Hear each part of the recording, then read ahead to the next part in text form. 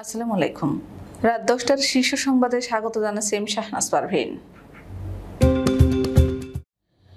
বিভিন্ন জেলায় কালবৈশাখীর সবল প্রাণ গেল বারো জনের।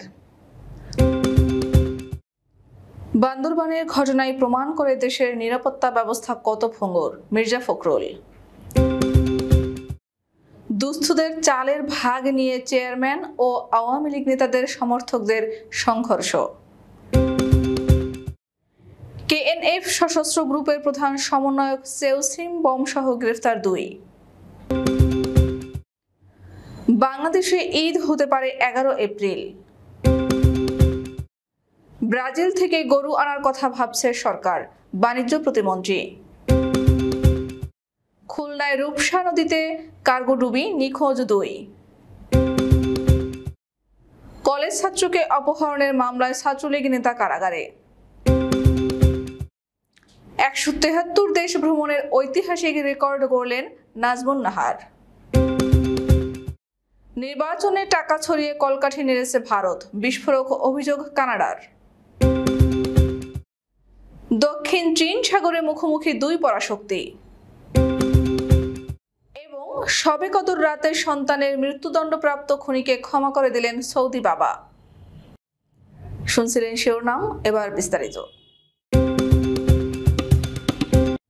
দেশের কয়েকটি জেলায় কালবৈশাখী হয়েছে। এতে এখন পর্যন্ত বারো জনের মৃত্যু হয়েছে বলে খবর পাওয়া গেছে। এছাড়াও এসব ঘটনায় আহত হয়েছেন আরও বেশ কয়েকজন। রোববার সকালে এসব ঘটনা ঘটে। পটুয়াখালীর বাউফলে কালবৈশাখী ঝড়ে অর্ধ শতাধিক ঘরবাড়ি বিধ্বস্ত হয়েছে।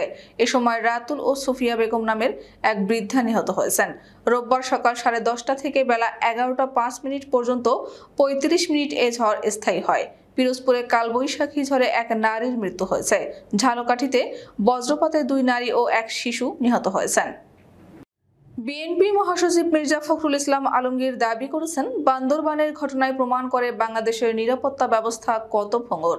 রোববার রাজধানীর গুলশানে দলীয় চেয়ারপারসনের কার্যালয়ে সরকার বিরোধী আন্দোলনে নিহত এবং নিখোঁজ পরিবারের সদস্যদের ঈদ উপহার সামগ্রী বিতরণ অনুষ্ঠানে এই দাবি করেন তিনি। মির্জা ফখরুল ইসলাম বলেন, বাংলাদেশের সীমান্ত আজ আক্রান্ত। কিন্তু সরকার এই সমস্যার সমাধান করতে পারেনি। গত কয়েকদিনে বান্দরবানের থানায় আক্রমণ হয়েছে, কিন্তু এর কোনো প্রতিকার করতে না পেরে জঙ্গি নাটকের কথা বলছে সরকার। কুড়িগ্রামের উলিপুরে আসন্ন ঈদ উল ফিতর উপলক্ষে ভিজিএফ এর আওতায় অসহায় দুস্থদের জন্য স্লিপের মাধ্যমে দশ কেজি করে চাল দেওয়া হচ্ছে। চাল বিতরণের স্লিপের ভাগ না পাওয়ায় উপজেলার দুর্গাপুর ইউপি চেয়ারম্যান ও উপজেলা কৃষক লীগের সদস্য সাইফুল ইসলাম সাইদ এবং দুর্গাপুর ইউনিয়ন আওয়ামী লীগের সভাপতি খায়রুল ইসলাম বাবলুর সমর্থকদের মধ্যে মারামারি হয়েছে। আজ রোববার দুপুরে পাঁচ পীর ডিগ্রি কলেজ গেট সংলগ্ন এলাকায় এ মারামারি হয়। এতে কমপক্ষে দুইজন আহত হয়েছেন। আহতরা হলেন দুলুমিয়ার ছেলে জাহিদ হাসান বুলেট ও আকবর আলীর ছেলে সোহেল রানা আহত হন। এলাকাবাসী তাদের উদ্ধার করে কুড়িগ্রাম সদর হাসপাতালে প্রেরণ করেন। পরে থানা পুলিশ ঘটনাস্থলে গিয়ে পরিস্থিতি নিয়ন্ত্রণে আনেন। কুকিজ ইন ন্যাশনাল ফ্রন্টের সশস্ত্র গ্রুপের কেন্দ্রীয় কমিটির অন্যতম প্রধান সমন্বয়ক সেওসিম বমসহ দুজনকে গ্রেফতার করা হয়েছে। শনিবার থেকে চলমান অভিযানে র্যাপিড অ্যাকশন ব্যাটালিয়ন পনেরো এর একটি দল তাকে গ্রেফতার করে। রোববার বিকেলে র্যাব পনেরো এর company commander lieutenant colonel S M Sajjad Hossain গণমাধ্যমকে এ তথ্য নিশ্চিত করেছেন। এদের মধ্যে সেওসিম বম জেলার চার নং সোয়ালক ইউনিয়নের ছয় নং ওয়ার্ডের সারণপাড়ার মৃত রোয়াল খুব বমের ছেলে আর গ্রেফতার অপরজনের নাম রোয়াল লিন বম। গ্রেফতার দুজনের সঙ্গে কুকিচেন ন্যাশনাল ফ্রন্টের সশস্ত্র গ্রুপের শীর্ষ নেতা নাথান বমের আত্মীয়তার সম্পর্ক রয়েছে বলে জানা গেছে।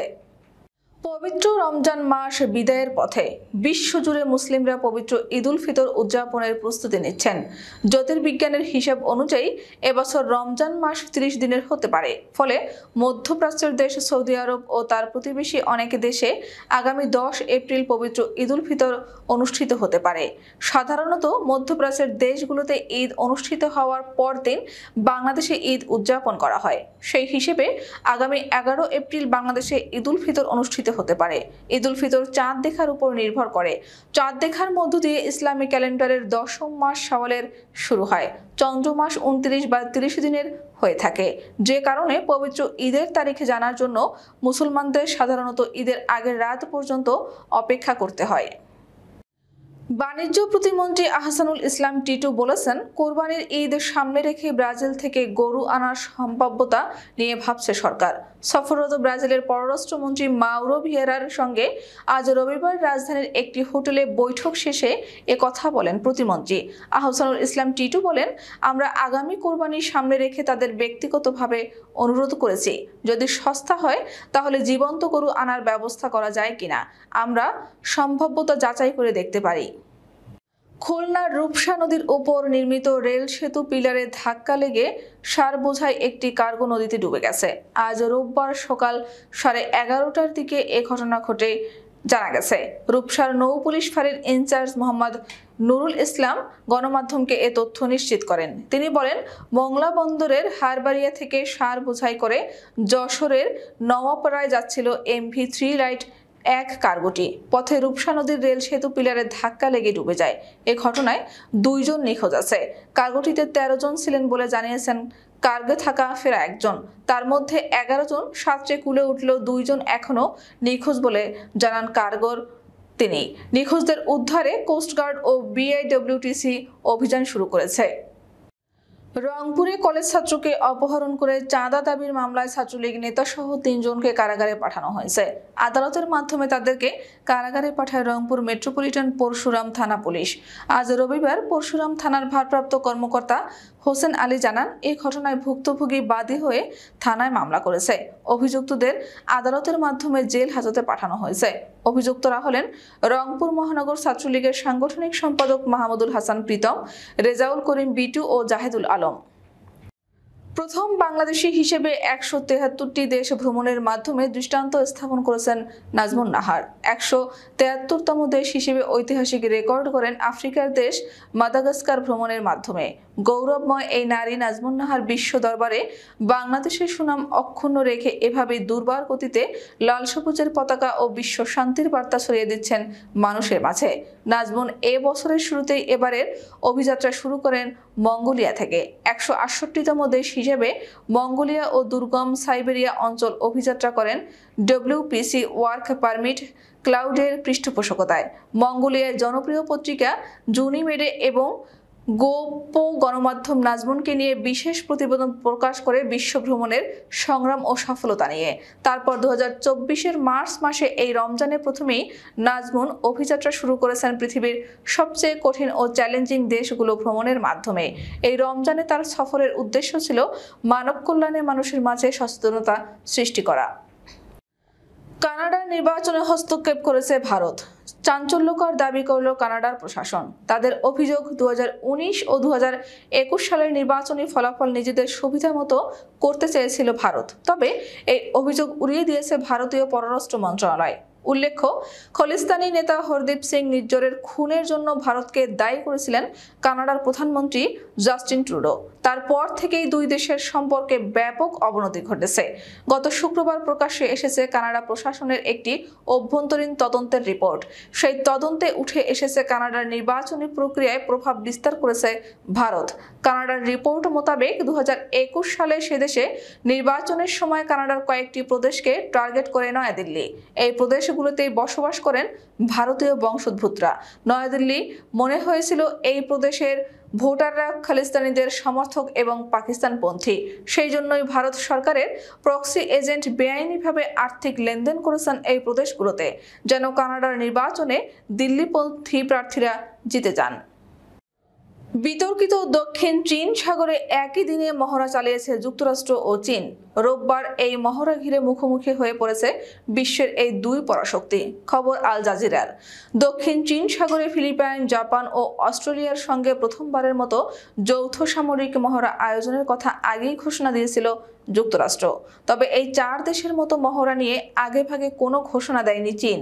কোনো ধরনের পূর্ব ঘোষণা ছাড়াই তাদের সঙ্গে একই দিনে সাগরের একই এলাকায় মহড়ার আয়োজন করেছে চীনা সামরিক বাহিনী।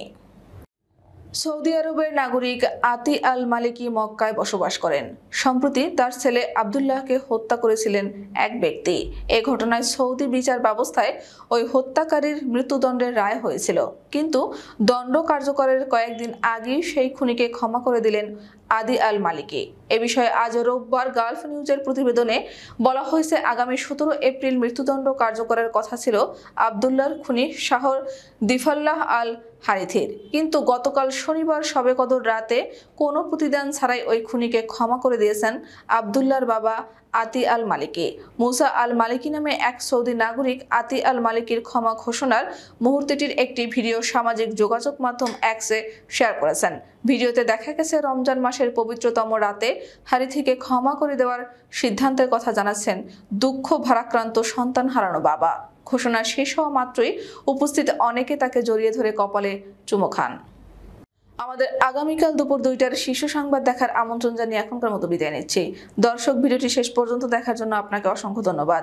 নিত্য নতুন সংবাদ পেতে আমাদের ইউটিউব চ্যানেলটি সাবস্ক্রাইব করুন ও নিয়মিত নোটিফিকেশন পেতে বেল বাটনটি ক্লিক করুন এবং আমাদের ফেসবুক পেজটিতে লাইক করুন। এছাড়াও আমাদের ভিডিওতে লাইক দিয়ে শেয়ার করুন। আল্লাহ হাফেজ।